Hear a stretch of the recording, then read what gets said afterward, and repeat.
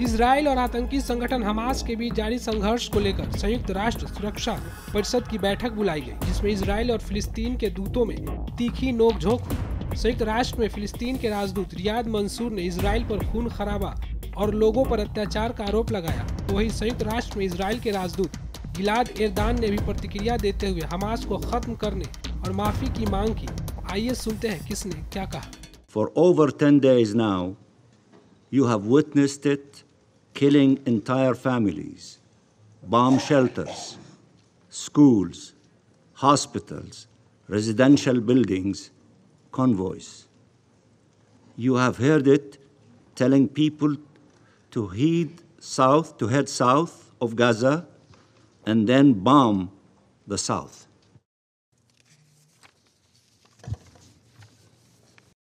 It is beyond belief that some still speak of a right to self defense of an occupying power that has made clear it is seeking blind vengeance, forced transfer, and annihilation of our people.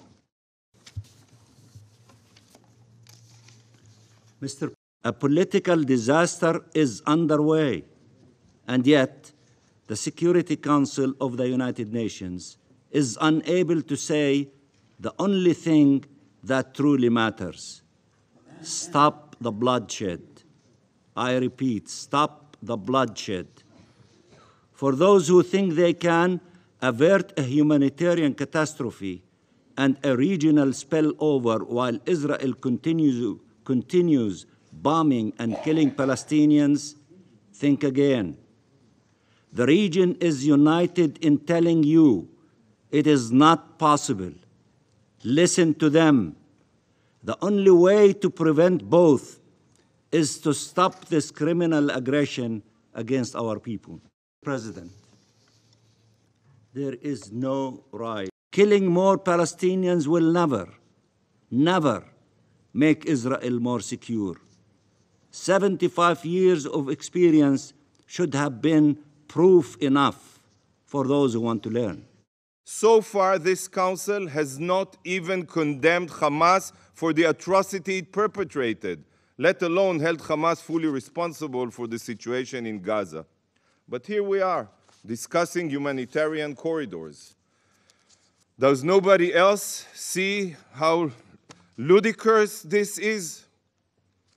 Calling for calm, restraint, and ceasefires is like putting a band aid on a bullet wound.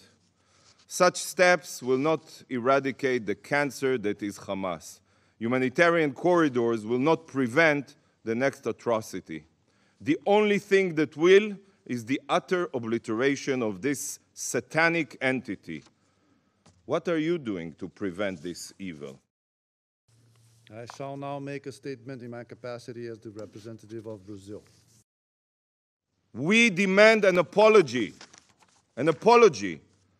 The UN and some of, on this council rush to adopt the lies of ISIS like terrorists and refuse to accept the hard evidence of a law abiding democracy. You should apologize. Apologize for never convening the council when Hamas rockets are fired deliberately, deliberately at Israeli hospital, hospitals. Barzilai Hospital in Ashkelon was directed, was directly hit by a Hamas rockets just last week. Where was the council?